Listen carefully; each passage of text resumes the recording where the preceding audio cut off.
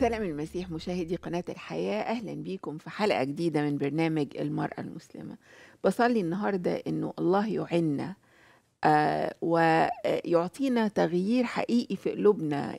زي ما بيقول الكتاب كده يحول قلب الحجر إلى قلب لحم. آه لنعود لمعرفة قلبه ومحبته وغفرانه. دي صلاتي ليكم اليوم. حلقة النهاردة بعنوان لو كنتي اتحجبتي. دلوقتي هتشوفوا آه، صورة الحلقة يعني بالطبع أنتوا هتشوفوا في في آه، الصورة دي ال- الصورة الأشهر الآن في مجتمعاتنا للشابة آه، آه، ضحية جريمة قتل بشعة نيرة أشرف. القصة آه، قبل ما نتكلم في القصة أولا حابة أن أنا أعزي أسرتها. وصلواتي إنه الله يشفي جروحكم ويصبركم على فراقها ويضفي رحمته عليكم آه، جميعا. كمان كل أصدقائها شاهدت كتير من الفيديوهات للاسره آه، الكبيرة وأسرتها ال- الصغيرة في آه، إذا كانت العيلة أو الأصدقاء. الحقيقة حاجة تقطع القلب من يعني آه، فجعتهم فيها. بنت زي الورد آه، جميلة و وناجحة وعندها أمال وأحلام تقتل وتقتل أحلامها وأحلام أسرتها معاها بالشكل ده. ربنا يعزيكم ويرفع عنكم الألم ده.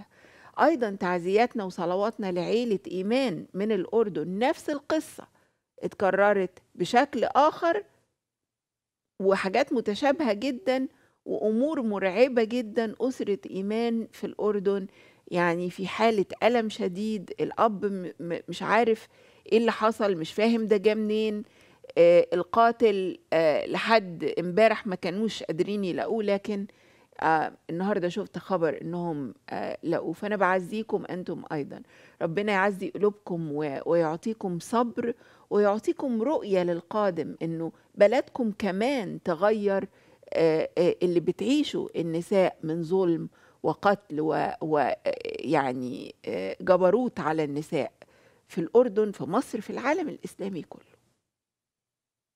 خلينا نشوف السلايد اللي بعد كده. الصورة اللي هتشوفوها دي هي صورة إيمان ونيرة مع بعض. واحدة من مصر وواحدة من الأردن. واحدة محجبة والتانية لأ.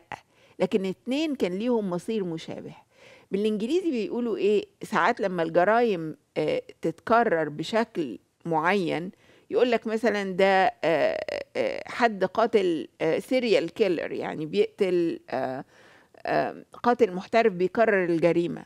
لكن في حاجة تانية.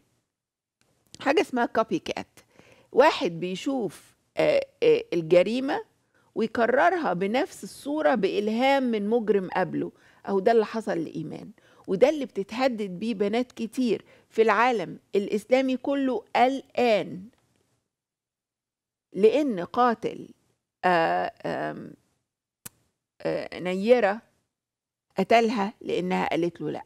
فبقوا البنات دلوقتي عندنا في بلادنا بي بي بيتقتلوا أو بيتهددوا بالقتل زي بنت مصر كده. بيتقال لهم كده. كارثة. مصدرها إيه؟ جت منين؟ هنتعامل معاها إزاي؟ ده دورنا بقى إن إحنا نتكلم فهتعملوا إيه؟ وإنتوا على الأرض تغيروا واقع البنات دي إزاي؟ ما ينفعش نعيش في خوف لكن واقعيا النهارده البنات عايشين في خوف خلينا نشوف السلايد اللي بعد كده دي أيضا صورة شهيرة ل آه لنيرة خليني أقول لكم قصتها إيه نيرة اللي عرفناه عنها إنها بنت آه في آه سنة ثالثه في آه، جامعة المنصورة أعتقد كلية الآداب و آه، وناجحة ومتفوقة آه، كانت حابة إنها تكون آه، عارضة أزياء وكانت بتاخد صور علشان يعني آه، تتعود أو تتعلم أو تكمل في المشوار ده بعد تخرجها. حصل إنه في شاب من الجامعة برضو آه، حب إن هو يتعرف عليها لكن هي رفضته. راح تقدم لها مرتين ثلاثة أهلها رفضوه وهي كمان رفضته. آه، آه، راحت بلغت عنه في الاسم وقالت إن هو بيهاجمها وبيمشي وراها آه، مصر على بيهددها. والكلام ده كله آه، إذا كان على الفيسبوك طلعته من الفيسبوك إذا إنستجرام طلعته من الإنستجرام وكان في رسالة بينها وبينه بتقول له أنا هعمل لك block من التليفون لو ما بطلتش تكتب لي فما ما بطلش فعملت له block برضه من التليفون. فالبنت عملت كل اللي عليها. وفي يوم من الأيام جات لها الرسالة دي إن هو هيقتلها ومش هيخلي حد تاني مش ممكن تكون لحد تاني غيره ابدا. وفي يوم الصبحية وهي رايحة الامتحان ضربها بالرصاص أنا آسفة ضربها بالسكينة وقتلها في الشارع قدام الناس والناس واقفة في حالة ذهول. بنت لسه في مقتبل العمر. قصة إيمان بقى اللي كانت محجبة في الوقت ده. قصة إيمان حاجة مشابهة. الولد كان بيحاول يتعرف على إيمان إيمان قالت له أنا مش عايزة أرتبط بيك فقال لها طب إيه رأيك بقى أنا لو ما ك... أنا هاجي وأتكلم معاكي لو ما آه ما قبلتيش إنك تتجوزيني أنا هعمل فيكي زي اللي اتعمل في البنت المصرية. وراح الجامعة فعلا وضربها خمس رصاصات إيمان ماتت في ساعتها. خلينا نشوف الفيديو اللي بعد كده. أنا عمر بنتي ما شكت لي إنه واحد ضايقها واحد حكى لها واحد جابها. نهائيا تطلع من باب الكلية على سيارتي ووصلها أنا باب الكلية. هذا بشكل يومي يعني. وحرس الجامعة يوميا أنا بشاهدهم بشوفهم حتى أنا استغربت إن لما أنا أروح أوديها ولا أجيبها بيسألوني وين؟ وين رايح؟ يعني هذا السؤال اللي بيطرح نفسه. واحد بيطلق حياه ناريه بالجامعة. ما حدا بيبلغ عنه ما حدا بيمسكه. ليه أنا جبت الفيديو ده؟ لأن الأب بيقول كان بيوصلها ويستناها كل يوم يا هو يا الأخ يا حد بيوصلوها وياخدوها من قدام باب الكلية. ليه إيمان ما قالتش لأهلها؟ لأنه الموضوع يمكن ما كانش مهم. يمكن ما كانتش تعتقد إنه آه، يعني ه- هيعمل كده. ما صدقتش تهديده. لكن واحد اتصل بيها وحاول إن هو يتقدم لها وهي قالت له لأ أنا مش عايزاك هي حرة. هي حرة. وأصرت على ده. الناس بقى بصوا لقصة آه، آه، آه، نيرة وقصة إيمان. واتكلموا كلام في منتهى السوء على البنتين. لازم كانوا كذا لازم كذا كانوا كذا وهوريكم بعض التعليقات المرعبة بعد شوية. لكن ال- الحاجة ال ال يعني اللي كانت أكبر وأعرض هي إنه نيرة مش محجبة عشان كده. ده حصل فيها. طب ما هي إيمان محجبة. وملتزمة وشكلها جميل أهو زي القمر. برضو حصل فيها كده. المسألة مش غلط البنت المسألة إنه في مشكلة كبيرة داخل ال- ال- المجتمع. اللي حصل الأسبوع ده نتيجة لمئات السنين من التعليم والبرمجة. مش بس الكام سنة بتوع الصحوة وال وال والإخوان الناس عمالة تقف وتقول من وقت الصحوة ودخلوا الحجاب في مصر و- والسعودية اتغيرت فغيرت مش عارف إيه. ده مش حقيقي. ده جزء من الأحداث اللي حصلت وغيرت فعلا لكن مش هو الأصل. الأصل في التعليم ال- الأصلي من أيام محمد إلى اليوم ما نراه اليوم من تنمر على النساء ومن تحجيم للنساء هو هو. من أيام محمد إلى النهاردة. مسألة إنه عمر يقول لمحمد حجب ستاتك. أصل إحنا بنشوفهم فالناس اللي بيقفوا علشان يعكسوا الستات وهم طالعين يدخلوا يعني يقضوا حاجتهم بيتنمروا على ستاتك وممكن يغتصبوا ستاتك وبيعرفوا ستاتك وكده ونساء المؤمنين. فتنزل الآية بتغطية النساء وحجب النساء. نختلف بقى على حجاب ولا مش حجاب دي بعدين نتكلم في الموضوع ده بعدين. لكن النهارده الواقع إنه ال يعني القاعدة اللي نشأت منها الأخلاق الإسلامية غيرت النهارده أخلاق المجتمع الإسلامي كله. عارفين لما آه، يعني دايما لما يكون في آه، هفترض إنه إنسان عنده آه، حرارة شديدة في مرض آه، في في جسمه حمى. فالحمى دي تعمل طفح على الجسم. أهو إحنا بنشوفه ده طفح. أحيانا بيطلع كده لما يكون واحد عنده حمى أو مرض أو أو أو أي التهاب أو حاجة زي كده اللي إحنا شايفينه ده الطفح من التعليم الإسلامي وأصوله في تغيير في الأخلاق. تغيير في اخلاق المجتمع بصورة عامة. ودايما صورة الأخلاق اللي بتتردى دي في المجتمع مصحوبة بمسحة دينية وأيضا تأتي بالضغط على المرأة وكسرها و و وإغلاق كل الأبواب عليها. لما جت الصحوة ابتدوا بالستات ومحمد برضو ابتدى بالستات. وبعدين يعني المرأة بقى يبتدي يبان عليها في في السنين اللي فاتت دي لما جات الصحوة و و و وكل ال ال ال الجماعات الإسلامية ابتدى يبان بقى تحول حال المرأة من اليسر إلى العسر من أيام محمد إلى اليوم. من لما كانت خديجة من ال- القيادات في مكة إلى أن أصبحت مجرد زوجة قاعدة في البيت.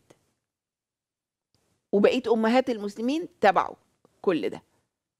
إحنا عندنا النهاردة أمرين هامين نتناقش فيهم. آه، ال ال ال الحوادث زي ما عرضناها لكم وردود الأفعال وبعد كده نتكلم في خلاصة الموضوع. اتكلمنا عن الحادث أو عن يعني تفاصيل الحادث في موضوع نيرة. ولكن أنا حابة أقف شوية عند القاتل. القاتل كان شاب فقير متفوق منطوي جيرانه الرجالة طبعا قالوا إنه شاب محترم.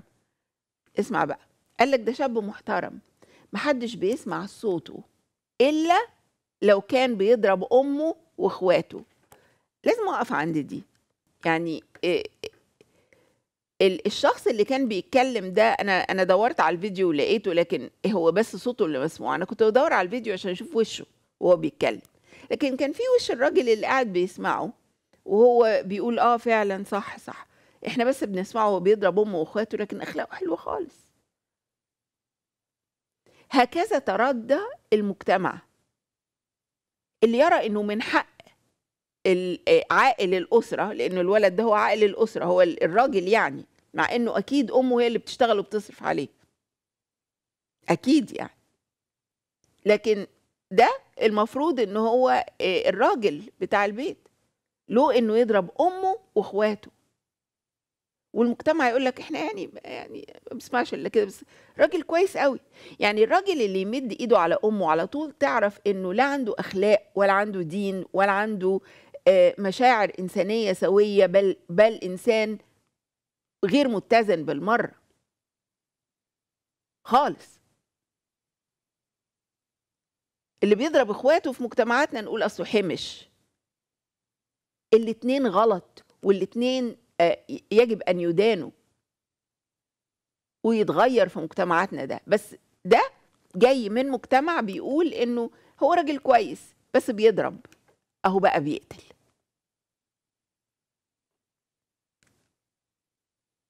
ده تعليق جيرانه الرجالة. طبعا لا يعني يا ترى لو كانوا سألوا جيرانه الستات كنا سمعنا إيه؟ والستات بتسمع ضرب الستات اللي جنبهم. كنا سمعنا إيه؟ كانوا الستات دول شافوه إزاي؟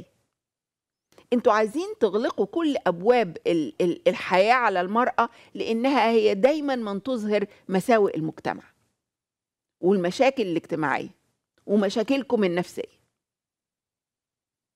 ميزان الأخلاق في المجتمع بقى مختل مختل.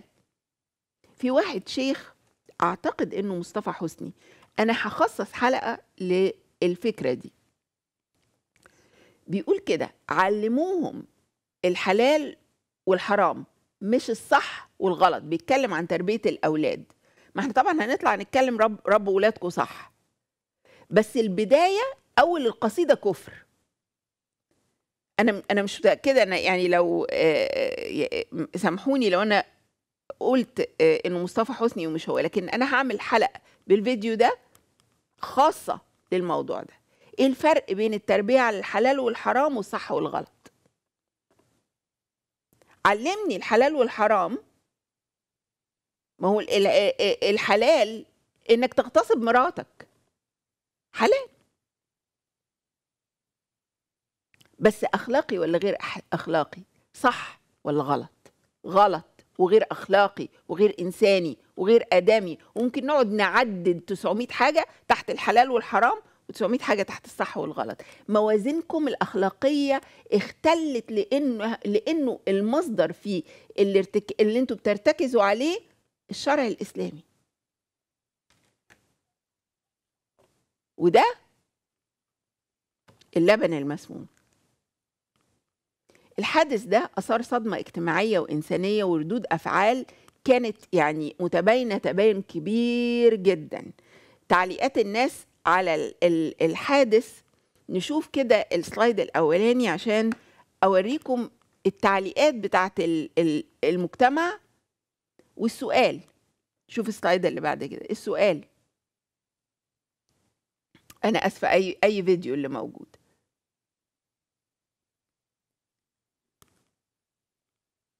okay. نحط. ده خلينا يعني نعدي ده ونحط ال slide الخامس. شكرا. أم... طيب. بصوا التعليقات. واحد الأولاني اللي فوق ده بيقول له غبي كان اغتصابها أحسن. واحد بقى إيه يعني ده قول عليه صايع مثلا. أنت عايز تقول ده؟ لا لا ده صايع ده مش فاهم ده مش عارف إيه. أو واحد شكله وراه كعبة أو مش عارف إيه. يقول لك وعامل له كوتس يعني بيقول حاجات آه، كلمات مقصورة. رحم الله فتاة سترت نفسها بإرادتها قبل أن يسترها الكفن رغما عنها. اتهام للبنت. وتعميم على إنه. كل واحدة مش متحجبة تبقى مش مستورة. عقول متعفنة. شوف اللي بعده يقول لك أنا أنا حزين على لبس البنت اللي هتقابل ربنا وهي كانت لابساه ده رب... ربنا يرحمها. فواحد بيقول له يعني أنت مش حزين إنها ماتت بالطريقة دي؟ قال له أكيد يا غالي حزين. ف الواحد بقى تحت بيقول له إيه هي ماتت وهي بتعمل معصية. يعني كانت ماشية بتشيل ذنوب لبسها وذنوب أي حد بيبص لها بصة مش كويسة. وأنت مالك؟ وأنت مالك؟ بس عارفين هو ماله ليه؟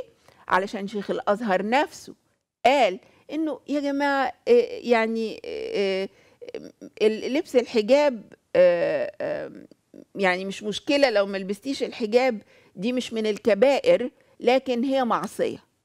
فأنت عاصية. أنت سميتها معصية لأنها اختارت إنها تكون كما خلق الله. فلازم طبعا بقية الناس يجروا. اصلها معصية وماشيه تس- تسيب تشيل ذنوب الناس. هي معصية ليه؟ لأنها تعثر الآخرين المفروض يعني. ما هي هي نفس الفكرة. كبيرة ولا صغيرة؟ أنتوا عندكم كبيرة ولا صغيرة؟ شوف السلايد اللي بعده.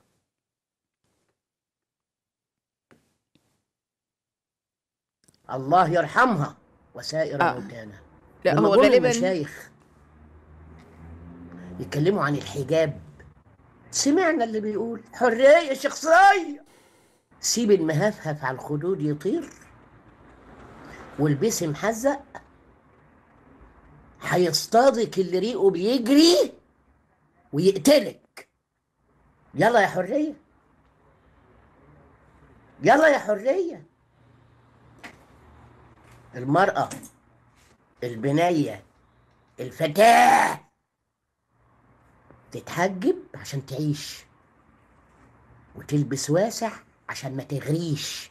واحد بيقول اسمه سليمان بيقول يا فرحتي بتعليم البنات في الجامعات بتعلم البنات في الجامعة بنظام الاختلاط.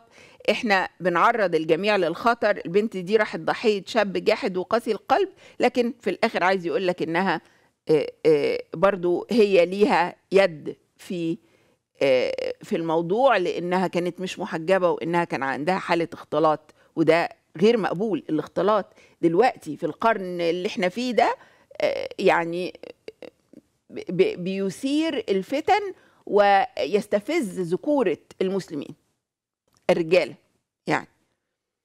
ال ال آه، واحد بقى بيقول إيه هو أكيد في سبب وأكيد البنت دي غلطانة غلطة كبيرة بس مش بس مش مبرر إنه يقتلها وبرده ده ما يمنعش إنه آه، آه، ياخد مؤ- مؤبد ويتحاسب يعني. بس هي كده عملت حاجة.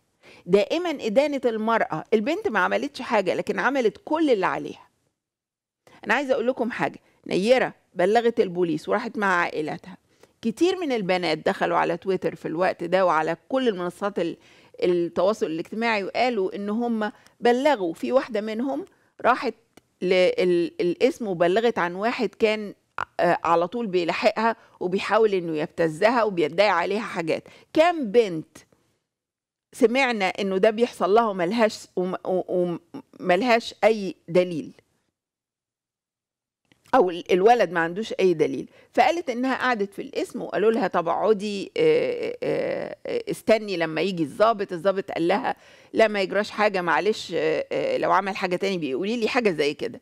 فراحت قالت لا طب أنا عايزة أدخل لرئيس الاسم فدخلت لرئيس الاسم فقال لها الأمور دي ما يعني مش هتجيب نتيجة وإحنا مش هنقدر نعمل له حاجة. واقعدي بره اما ابقى أشوف كده آه، حد يتصرف في الموضوع. فقعدت بره الأوضة وسمعته وهو بيقول للضابط اللي معاه إنه هي أكيد هي اللي عاملة حاجة وأغرته ودلوقتي مش عاجبها فعايزة تلبسه تهمه تعمل إيه البنات في منظومة تنظر للمرأة على إنها دايما في حالة خطأ؟ ده اللي حصل لنيرة. أوكي؟ شوفوا بقى ال ال آه، التويتة دي أنا عايزة أقراها لكم علشان دي يعني نذير الشؤم والسوء ويعني إيه زي نعيق البوم كده بيقول واحدة بقى بتقول فرصة بقى يصطادوا في المية العكرة يا بنات نصيحة مني ليكم بعد اللي حصل للبنت اللي ذبحها الشاب. بالله قبل ما تنزلي من بيتك اتأكدي الأول إن لبسك يرضي ربنا وإنك تكوني جاهزة عشان تقابليه. والحوادث اللي بتحصل دي اتعظوا منها واللي... واللي في غفلة تفوق بقى واللي بتسمع أغاني تبطلها واللي بتكلم شاب تعمل له بلوك واللي بتلبس ضيق تلبس واسع واللي بشعرها تتحجب واللي لابسة طرحة قصيرة تلبس خمار ساتر واللي مش بتصلي تنتظم في صلاتها الحقوا نفسكم. نعيق يعني ال ال زي الغراب كده يعني ب ب عايزين يبشروا البنات أنتوا نهاركم مش فايت. البسي مش عارف إيه. دي نغمة بقى موجودة بقى دلوقتي. موجودة. كل رجال الدين مسكوا النغمة دي وماشيين عليها. okay؟ علشان الرعب اللي اللي البنات ماشيين فيه النهارده. طب أنا يعني أسأل حضرة حضرتك وكل القائلين بهذا. المسيحيات يعملوا إيه؟ اللي مش عايزة تتحجب يا أخي تعمل إيه؟ عايزين بس البنات دول اللي, اللي أنتوا اللي هيسمعوا كلامكم تفتكروا هيسلموا؟ ولا هيبقى واحدة منهم برضو مصيرها زي إيمان؟ إيه إيه الرعب ده؟ إيه الشؤم ده؟ إيه ده؟ من إمتى؟ وإحنا بنعمل كده؟ يعني وإحنا بنقول كده يا بنت اعملي يا بنت اعملي يا بنت اعملي. من الناحية التانية الوجه الآخر انت بتقولي إن الراجل ما يقدرش وإن الراجل ما عندوش أخلاق ولا عنده دين ولا عنده أي حاجة. مفيش أخلاق. لو كانت البنت مرعوبة علشان في ولد هيقتلها ولا هيذبحها ولا هيعمل فيها ولا هيأذيها ولا هيبوظ سمعتها فلأن الولد ده ما عندوش أخلاق.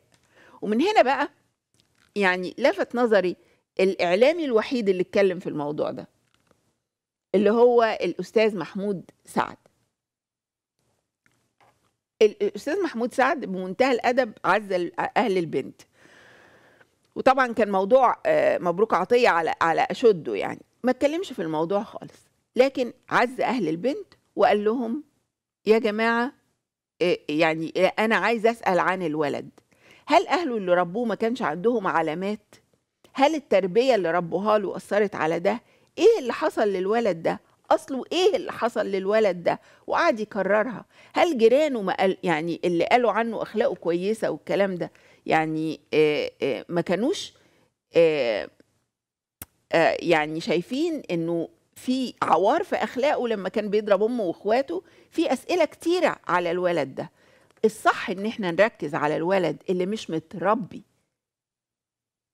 اللي ما عندوش في القلب شيء يخليه يكون عايز يكون إنسان أفضل. اللي دينه ما بيديهوش الأدوات اللي تخليه إنسان أفضل. أما يكون مصدر تعليمه في الجامع غطي البنت والبارفان بتاعها زي مثلا ال- المحامي آه، آه، آه، شاف اتحرش ببنت قبطيه في في المترو وقال قال لك إيه؟ أصل البارفان بتاعها أغراني. في إيه؟ يعني في إيه؟ أنتوا يعني عايشين مشاعركم على شوك مثلا حطوها على شوية تلج. مش عارفة أقول لكم إيه. خليني آخد الأخ مناف من آه آسفة منين؟ من اليمن يمكن؟ من السويد عراق اعيش في السويد. أهلا وسهلا. أخ مناف اتفضل مرحبا, مرحبا. أهلا بيك اتفضل أنا عندي مداخلة يمكن ثلاث دقائق أو شوي أكثر. هي عبارة أنا قريت على القرآن وقريت الأمور لكن مشتت إثباتات آيات أحاديث نكر إثبات. فأحد إعلاميين نشرها ما ود ذكر اسمه مداخلة. وهي مقتبسة يعني بس أنا تبنيتها. اتفضل يقول تقول تقول المقا... ال- ال- المداخلة منذ 1400 عام. عاشوا في البراري ناموا في المضارب اضاءوا لياليهم باشعال الزيت والحطب. لم يعرفوا غير الرعي والسبي والغزوات. تقاتلوا ترا... تح... تحاربوا تناحروا تزاوجوا. منذ 1400 عام تركوا لنا قصصا وسيرا ذاتية وأحاديث ونصوص. قالوا إنها مقدسة كما قال الذين من قبلهم. وبعد 1400 عام يتوجب علينا أن نفكر كما كانوا يفكرون أن نلبس كما كانوا يلبسون أن نعيش كما كانوا يعيشون Yeah. أن نتقاتل كما كانوا يتقاتلون أن نتزاوج كما كانوا يتزاوجون. 1400 عام من التزوير والمطلوب أن نصدق ونحن نشهد التزوير في الحاضر. 1400 عام من التمترس خلف شخصيات وحكايات لا نعرف شيئا عن حقيقتها ويتوجب علينا أن لا نخرج من عباءاتهم. أن نقتدي بهم أن نتعلم منهم أن ننتقم لهم. 1400 عام ونحن نفسر ماذا قالوا لماذا قالوا وماذا كانوا يقصدون. 1400 عام من الصلوات والدعاء على اليهود والنصارى لتشتيت شملهم ولم يتبقى لنا شمل لتدمير أوطانهم ولم يتبقى لنا أوطان لسبي نسائهم ولم تسبى إلا نساء المسلمين. 1400 عام من صلوات الاستسقاء والأمطار تغمر العالم إلا بلاد المسلمين. 1400 عام من الزكاة وعدد الجياع والمحرومين يزداد كل يوم في بلاد المسلمين. أيتها الأمة النائمة. أنتم من تصلون وت- وتدعون علي إن من تصلون وتدعون عليهم وصلوا إلى الفضاء وناموا على سطح القمر وشطروا الذرة وجزأوا الثانية واخترعوا الثورة الرقمية. أنتم لم تفلحوا إلا في ثورة الأعضاء التناسلية. وتتدارسون حتى اليوم طريقة دخول دخول المرحاض. طب بص آه، معلش آه، اخ نايف نعم. خلينا نقف عند الحتة دي لأنه واضح إنها طويلة لكن أنا آه، هي عارف بقت تقريبا ثواني وتخلص. بص أنا عايزه أقول لك حاجة. آه، كل اللي أنت قلته دي في ال 1400 سنة كذا وكذا وكذا إحنا لا نجد ثمر لأن آه، الإله الذي يتبعه هؤلاء هو الشيطان نفسه. واللي بيحصل فيهم ده من أعمال الشيطان. في آية في الكتاب المقدس في آه، كورنثوس الثانية في الإصحاح الرابع بتقول كده آه، آه، لأن آم، أوكي. نعم. بيقول كده إن إنه آم، إنه إله هذا الدهر أعمى أذهانهم. إله هذا الدهر هو الشيطان نفسه. أعمى أذهانهم. ودي الحقيقة من من ساعة ما حصلت الحكاية دي أنا بقيت شايفة آه، ال- الآية دي يعني واضحة جدا قدامي. الله يعطي نور يعطي حق يعطي يعطي سلام يعطي قداسة يعطي سلام مع الآخرين يعطي نمو يعطيك حياة وحياة أفضل. لكن ما بني عليه الإسلام لا يمكن أن يقود إلا لهذا الدمار. أم، أنا بصلي إنه ال- المكالمة دي تبقى بداية تواصل بينا. حقيقة أنا عندي كلام معين بسيط إن شاء الله ولو آخذ من وقتك ال- أنا أنا صحيح عشت في السويد أنا في السويد عايش. أنا رأيت الإنسانية في السويد ولا يعني قليل ما يعني قل ما رأيت دين.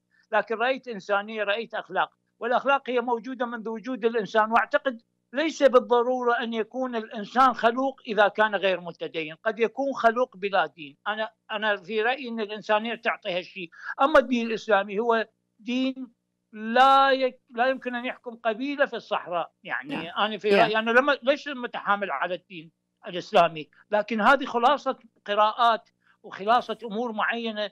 ردت أن أظهر بشكل حسن للدين الإسلامي لكن ما من منفذ.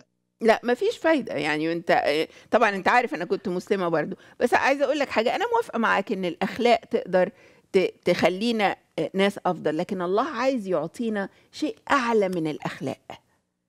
هو السمو الروحي الوصول إلى إننا نكون أبناء الله نمثله نشبهه ن... آه، آه، آه، كما كان يقول يصنع خيرا نحن أيضا نقول نصنع خيرا مش نكون أعمياء القلب والفهم وال- والروح زي كده. مش ممكن حد يوصل لده من غير من غير المسيح. كلمة أخيرة. أولا أنا جدا متأثر ومتأسف على الفتاتين اللي قتلت في الجامعات في في عمان وفي مصر. مهم. وأرجو أن يحاكم كل من يبرر للقاتل من سواء رجال دين أو أي كان اللي برروا ولاموا البنت إنها هي سبب إنه لبسها وعدم حجابها هو اللي سبب خلاها يقتلها وهذا بحد ذاته دفاع عن قاتل مجرم يجب أن ورجال الدين اللي يبررون بهالشكل هم مشاركين بالجريمة وشكرا لكم. شكرا ليك الرب يباركك. أوكي طيب. شكرا. أم، خليني أرجع بقى للفيديو. أنا هكون عايزاك تعيد لي الفيديو ده مرة تانية بس عايزه أعمل عليه مقدمة بسيطة. الفيديو ده اللي هو الفيديو اللي اشتهر بقى اللي مبروك عطية. أنا في المقطع ده عايزه أتكلم على الشيوخ. كذا. شيخ هتكلم على كذا شيخ في الحتة دي. لكن مبروك عطية أنا هفصل للي قاله لأنه يعني الناس قايمة ومش قاعدة بتتكلم على اللي مبروك عطية قاله وهيقدم للمحاكمة وكلام رائع. برافو أنا سعيدة جدا بده. لكن يجب إننا نقف عند ظاهرة مبروك عطية والشيوخ اللي أمثاله وقد إيه بيأثروا على المجتمع علشان هنشوف الكلام اللي بيقوله إذا كانت الناس موافقة عليه ولا لأ. خلينا نشوف الفيديو ده. الله يرحمها وسائر موتانا. لما جم المشايخ يتكلموا عن الحجاب سمعنا اللي بيقول حرية شخصية سيب المهفهف على الخدود يطير والبسي محزق هيصطادك اللي ريقه بيجري ويقتلك. يلا يا حرية. يلا يا حرية. المرأة البنية الفتاة. تتحجب عشان تعيش. وتلبس واسع عشان ما تغريش.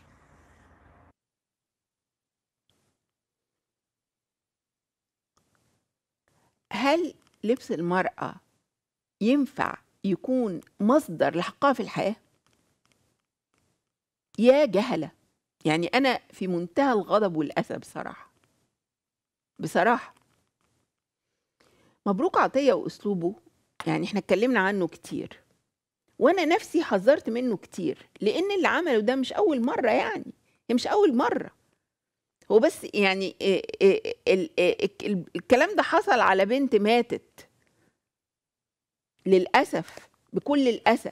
لكن مبروك عطية كم مرة قعد مع ستات وجها لوجه وكلموه على التليفون وجها لوجه ويقول لهم أصل الستات معروف عنهم إن هم بيبالغوا. دي عقلية مبروك عطية ولا عقلية الشيوخ كلهم؟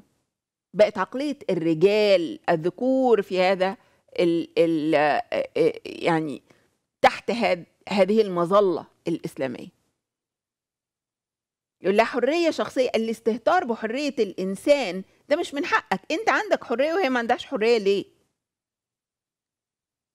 لأن القرآن بيقول لهم أنتوا قوامين وأنتوا أقوى وأنتوا أقدر وأنتوا وأنتوا وأنتوا. الراجل الراجل الراجل.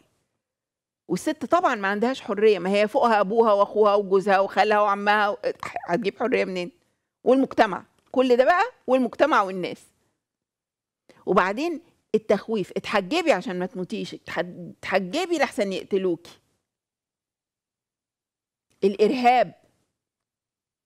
إرهاب النفس وإرهاب الفكر و... و... و... ومش بس كده ده إرهاب للعائلات كلها. يعني واحدة أم آه، ما عندهاش غير بنت واحدة هتقولها لا لا يا بنتي اتحجبي اتحجبي. هنعمل إيه؟ اتحجبي. تلات أرباع ستات مصر محجبات لأن. لأن إيه؟ قالوا لهم الأول حجابك عفتك حجابك مش عارف إيه حجابك يصونك حجابك كذا حجابك كذا. آه، لكن ال- اللي اللي كان بيخلي معظم البنات يتحجبوا في وقت من الأوقات و- وفاكرين أنا عملت حلقة كاملة على الموضوع ده؟ الجواز. لو ما اتحجبتش تبقى سمعتها مش كويسة تبقى مش هتتجوز جوازة كويسة. أصل في واحد معين عايز المحجبة. الجاهز ده. فبقى إيه؟ لو كنت اتحجبتي ما كانش حصل لك كده. عشان كده أنا سميت بقى الحلقة لو كنت اتحجبتي. كم شيخ من شيوخ ال- ال- المسلمين بيقعد في الجوامع يقول الكلام ده على البنات والستات ويعلمكم. حجبوا بناتكم هتشيلوا ذنبهم مش عارف إيه. خلينا نشوف الفيديو اللي بعده. غض البصر للرجالة المحترمة. إنما أنت في وسط وحوش. الكلمة دي لله وجاية بعد فكر. الكلمة دي لله. حياتك غالية عليكي؟ اخرجي من بيتكم قفه لا متفصلة ولا بنطلون ولا شعر على الخدود. ليه؟ هيشوفك اللي ريقه بيجري وما معهوش هيذبحك يلا خليه في بعد آخر للحجاب. ليس فقط بعدا دينيا وإنما هو بعد خبرة بالمجتمع اللي حوالين اللي عايز الهفهف والمقمط هبتدي من الآخر. الهفهف والمقمط ده على فكرة هو بيتكلم بيتكلم عن الست مش واحد لابس مقمط لأ. اللي بيتكلم عن الست الشعر اللي بيهفهف والمقمط يعني اللبس الضيق المحزن أوكي؟ الحاجة اللي اسعدتني بقى في آه، الفيديو ده إنه قال غض البصر للرجالة المحترمة. عندك حق في دي. غالبا أول مرة هوافق مع الراجل ده على حاجة. غض البصر للرجالة المحترمة. بس للأسف إنه في نفس الوقت قال إن كل رجالة مصر وحوش. وقال لهم اللي ريقه بيجري ما اللي ريقهم بيجري دول حيوانات مش بني آدمين. ما عندهمش سيطرة على مشاعرهم ولا على ولا على آه، يعني إنسانيتهم. يعني ال- الغريزة اللي بت بتحركك قوي كده لدرجة إنك تخرج عن إنسانيتك تبقى غريزة حيوانية مش إنسانية. لكن الشيء الطبيعي اللي في الإنسان والانسانه العاديين ال- إذا كان إذا تطلعهم للعلاقة الجنسية ولا العلاقة الإنسانية أو ده بتبقى حاجات طبيعية منضبطة في الشخصيات المنضبطة. بس فعلا المجتمع كله بقى وحوش. ليه؟ لأنك قعدت تسمع حديث بيقول لك إن النبي بص لواحدة فقام آه، اشتهاها فقام راح مجامع مراته. وقال لهم إذا حصل كده اعملوا كده أصل الفرج واحد هو واحد.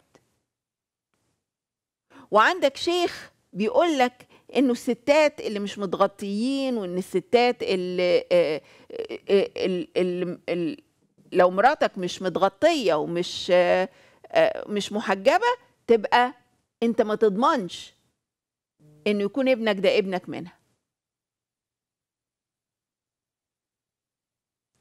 شيوخ. ربوا آه، ربوا آه، كتير. من الناس. خلينا نشوف الفيديو اللي بعد كده.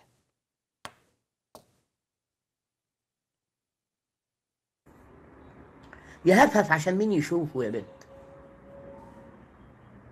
والمقمط عشان مين يشوفه يا بنت؟ عشان مين يشوفه؟ محترم؟ اتخرج وتوظف وعمل باطة وقادر على فرشه وقادر على مصاريفه؟ مقمط ومهزق في بيئة ما بتعتبرش حافظي على روحك خافي على عمرك. اخرجي من البيت وانت عارفة خارجة على مين؟ مش خارجة على حد آه، متحضر يعني بلغة الحضارة. لا حواليك كلاب. مرة تانية قال على كل الرجالة كلاب. انت خارجة حواليكي كلاب. أنا مش بجمع بقى يعني هو مش هيجمع يعني بس انت قلت إيه؟ انه مجتمعك كله كلاب. مجتمع مصر عمره ما كان كله كلاب.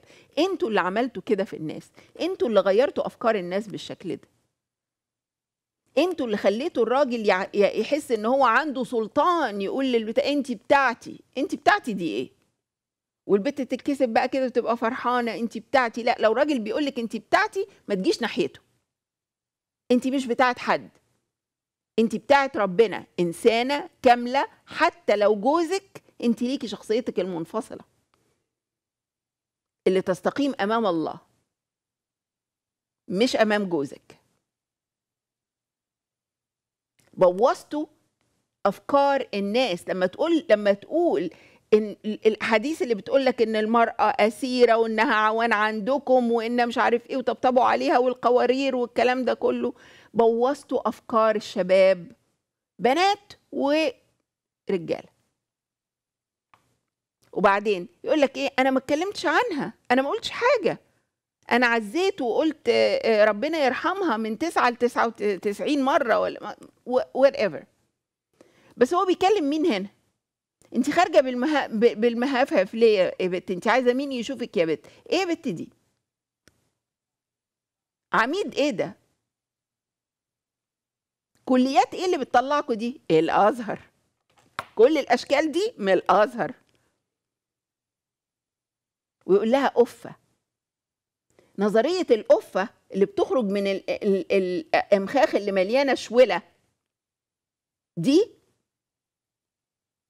على رأي ال ال الأستاذة آه، نهاد أبو القمصان البسوها أنتوا. ما كانش عمر ستات مصر ولا العالم العربي معظمه كانوا بيلبسوا أفف كانوا آخر شياكة وأحسن موضة وأحسن أخلاق في الوقت ده. بص الاتهامات بقى المباشرة الفيديو اللي جاي ده بقى فيه اتهامات مباشرة. إنه عمل مشاكل قبل كده مع البنت. مسح اللي نشره على صفحته بخصوصها. ده في علاكة أنا إيه واحدة تعمل صداقة مع فرقه علوي العيال بتصدق. ولا وحشتني. وقالت له أنت كمان؟ يبات طول الليل ما ينامش. آه. وهي بالنسبة لها كومبل مون كلمة عادية.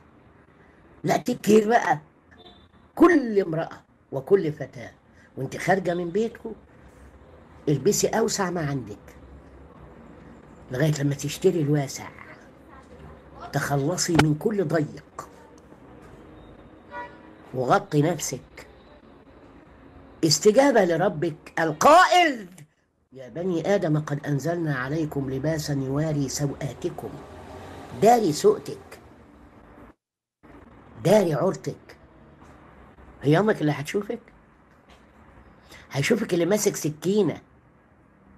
يا يجيبك. قدام الجامعة في الشارع. حد يقول لي بقى إنه ما كانش بيتكلم على نيرة الراجل ده. عندما يحاكم هذا الرجل لازم يتاخد المقاطع دي من الفيديو علشان يحاكم عليها لأنه سب وقذف على البنت دي. غير إنه سب وقذف على الشعب المصري كله ستات مصر كلهم وتحريض على القتل. لكل ست مش محجبة بقى مسيحية آه، آه، آه، سواح بقى. الس- السايحة اللي انت فاكر انها مثلا نازلة مصر وسهلة يقول لك دي ده ده المقررات السهلة. هتروح تقول لك لا تقول لها طب ولا ليه؟ طب ما هو يلا دبها سكينة. إيه ده؟ الإسلام علمكم إنكم ترتكزوا على غرائزكم واللي أنتوا عايزين تشبعوا بيه ال- ال- الفم والعين والمشاعر الأخرى. بس. لكن ليس للقلب والفكر والإنسانية والبناء الإنساني علاقة خالص. في الفيديو ده اتكلم عن آه، إنه ليه البنات يبقى معاهم تليفونات فيها كاميرا. شيلوا التليفون ده مفيش غير تليفون صغير كده تقول لماما أنا ما أنا جاية في السكة يا ماما أنا وصلت يا ماما. عارفين مين اللي بيعمل كده؟ الطلبان. يلاقي بنت عندها آه، تليفون آه، آه، فيه إنترنت ياخدوا يكسروا. البنات ممكن تخرج بتليفون صغير ما يكونش فيه إنترنت. القفه في دماغكم أنتوا. القفه في دماغكم أنتوا. خلينا نشوف ال- ال- المتميزة. الأستاذة في الفيديو اللي جاي نهاد أبو القمصان. بلاغ إلى النائب العام في المدعو مبروك عطية. فالمدعو مبروك عطية بيرتكب عدد من الجرائم. واحد تعطيل الدستور والقانون لأنه إذا كانت البنات والستات هي المسؤولة عن حماية نفسها وإنها لازم تلبس خيمة علشان المجرمين المطلوقين في الشوارع فده لا في دستور في البلد ولا في قانون. اتنين تحريض على العنف اللي مش هتلبس الخيمة اللي حضرته بيقول عليها تستحق اللي يحصل لها بما فيها القتل. ثلاثة إن دي جرائم إنترنت طبقا لجرائم الاتصالات والإنترنت. أربعة إحنا بنتكلم على إشاعة الإرهاب في المجتمع المصري بنخوف كل البنات والستات. خمسة السيد المدعو مبروك عطية بقى لو عايز الخيمة يروح يعيش فيها. إحنا مش هنلبس خيم ومش هنعيش في خيم علشان الدولة المصرية دولة قانون. تحية وتقدير ومحبة للأستاذة ال ال يعني ذات القلب الطيب والعقل الناصح الناضج. يعني ال- الحقيقة أنا مش هتكلم على آه، آه، ال- الاتهامات ال- اللي هتتحط في البلاغ ده. لكن أنا عايزة أقول لك يا أستاذة لو سمحتي خدي الأستاذ عبد الله رشدي في النص كمان لأنه من نفس النوعية. هذا الرجل يجب أنه تقدم فيه بلاغات زي ما بيتقدم فيه آه، آه، مبروك عطية. وبشكرك على وقوفك آه، إلى جانب المرأة المصرية المقهورة اللي متاخد حقها واللي متاكل حقها مع رجال بهذا الشكل. أنا عندي أمل إنه رجالة مصر تعود إلى أيام الرجالة الراقية المثقفة العاقلة. عندي أمل عندي أمل. مش مش نبقى إيه إيه كل شوية نقول يا يا تتحجبي يا نقتلك يا آه، يا آه، آه، يا تلبسي يا نعمل فيكي يا ما ما تثيريش ذكوراتي والكلام ده كله. بصوا بقى على الصورة اللي جاية دي. عبد الله رشدي عمل فيديو اسمه بأي ذنب قتلت وراح محجبها. وقال لنا في وسط الفيديو مين اللي قال كده والبنت ما يتعملش فيها كده وده مش من الدين وده مش مش عارف إيه. وبعدين بص السلايد اللي بعد كده. أنا عندي نظرية. إنه اللي عمل صورة البنت دي بغير إرادتها يا يا ده إجرام ده إجرام. هي ما اختارتش إنها تتحجب. بتحجبوها ليه؟ بتحجبوها ليه؟ You know, ليه؟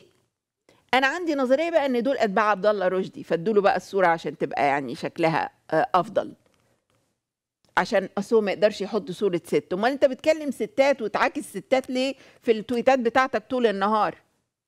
شوفوا بقى المصيبة اللي يعني بعد كده الصورة اللي بعد كده؟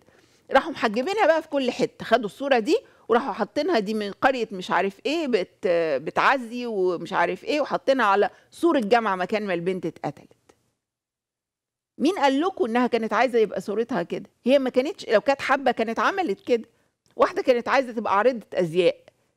أنتوا مالكوا؟ بقت هو هي دي النظرة للبنت أو الست اللي تحترم من نظركم إنها تكون محجبة؟ عندي كلام كتير أقوله في الحتة دي. يعني أنتوا حية أو ميتة عايزين تخنقوها. شوف السلايد اللي بعد كده اللي يخص بقى عبد الله رشدي اللي هو الرجل ذو الوجهين. خليني أقرأ لكم. طلع علينا بعد الفيديو اللي عمله ده بقى وبعد الهجوم على مبروك عطية. فيعني ده بقى ال- التورية اللي بيعملها دي. يقول لك إيه قال شخص ناصح يا جماعة لا تتركوا أطفالكم في الشارع كي لا يخطفوا. فرد عليه شخص خارق الذكاء بيتريق علينا. إيه ده أنت بتبرر خطف الأطفال؟ أنت أكيد بتبرر خطف الأطفال أنت بتبرر الخطف. فأجاب الناصح التحذير من المجرمين شيء وتبرير الجريمة للمجرمين شيء آخر. ويبدو إنك لا تفهم الفرق بين الاثنين أدوات ال- التعامل مع مع هؤلاء ال- الشيوخ كل ما يفتحوا بقهم لازم يكون في إهانة للكل يتعاملوا على مع الجميع على إن هم هم يعني الأفهم والأوعى والأكثر فكرا والأكثر مش عارف إيه وإحنا كلنا بقر. سامحوني يعني. يعني ال- اللي عايز يبقى بقرة ويتبع الناس دي يكمل وراهم. شوف بقى الناس ردت عليه قالوا له سبحان الله أمال أنت ما اتخطفتش ليه؟ بيتريقوا عليه عجبتني دي حطيتها. وبعدين الت- التعي... التعبير ال... الأفضل اللي أنا يعني الحقيقة شفته وقلت إنه ده مناسب جدا لهذا الشخص. الكتاب المقدس بيتكلم على ال... الشخص اللي بيتكلم من الجهتين من من من نفس الطريقة من نفس. في نفس الوقت. يقول لك أنت بتتكلم من من الناحيتين من بقك يعني. بتتكلم ليك وجهين في الكلام. هو ده بقى اللي بيقولوا عليه الدبل سبيتش اللي بيقولوا عليه اللي هو الكلام المزدوج. كلامه مزدوج وأفكاره لا يمكن يتخلى عنها. مش كده؟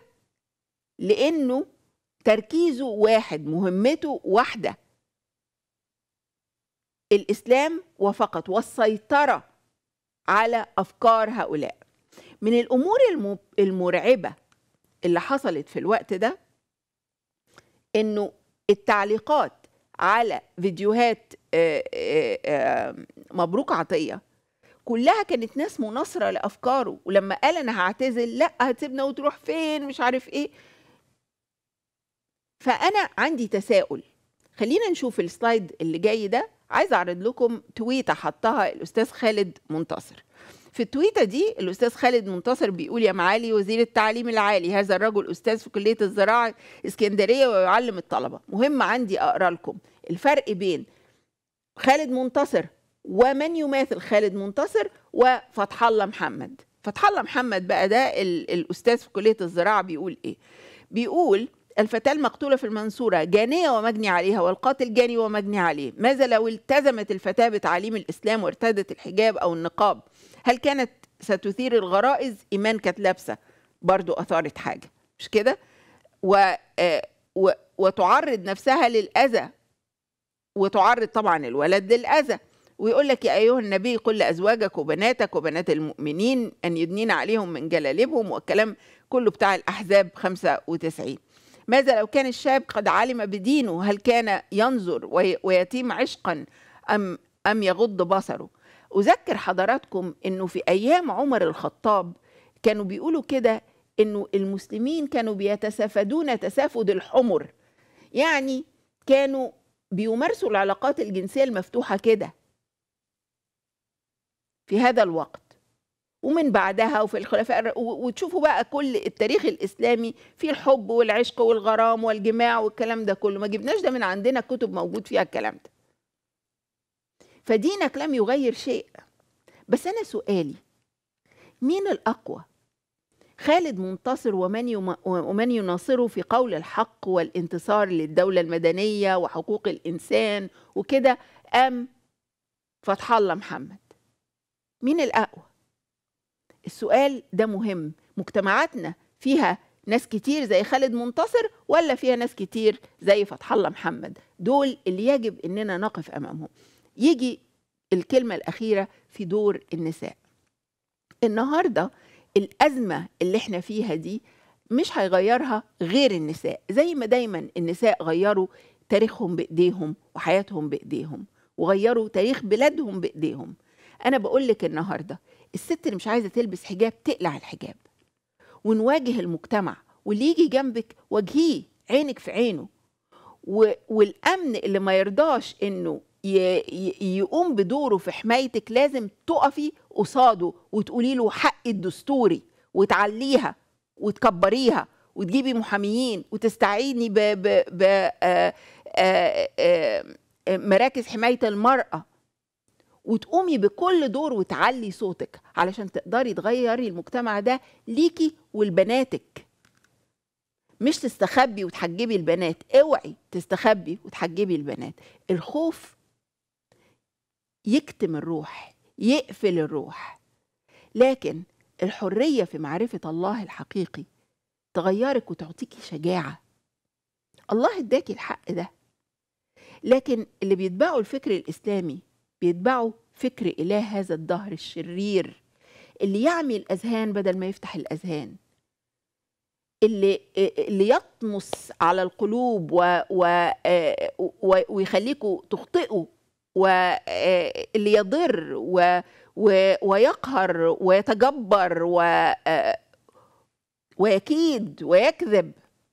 صفاته أساميه أعماله. اللي يسبب إنك تخطئي عشان يدخلك النار. ده الشيطان. لكن الله يريد أن تكون لك حياة وحياة أفضل وينصرك في إنك تطالبي بحقك في هذه الحياة. من فترة بسيطة بنتي شافت حد محتاج مساعدة فاتصلت بالأمن وقالت لهم أنتوا محتاجين تروحوا تشوفوا الولد ده أو تشوفوا احتياجاته إيه. مش عايزة أقول تفاصيل المهم. فقالوا لها أوكي وما راحوش.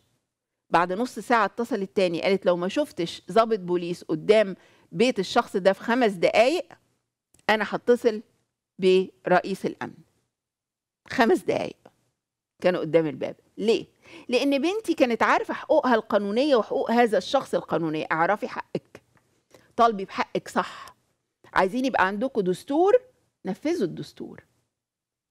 ضابط الأمن اللي ما يسمعش كلامك وانت رايحة بت... محتاجة انك ت... ت... يعني آه، تاخدي مساعدة علي الأمر. قضيه هو نفسه. لحد ما مصر تتغير لحد ما أفكارنا تتغير. بصلي إن الله يسوع المسيح يغير قلوبكم النهارده. ويعرفك يا بنتي ويا أختي ويا أمي آه، إنه الخوف مش منه الخوف من الشيطان.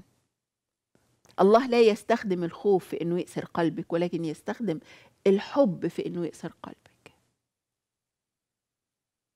الكتاب المقدس بيقول لنا ان الله محبة لكنه أيضا مقسط وعادل ورحيم. وبيقول عن نفسه كده أنا قاضي الأرامل. اللي ملوش حد له ربنا بس مش ربنا بتاع الإسلام. هو بس يسوع المسيح اللي يستطيع أن يغير حياتك اليوم. أنا بشكركم بصلي إن الله يغير الأمور ويعطي شفاء ويع- ويعطي رحمة للرجالة والستات. كلنا محتاجين رحمة الله.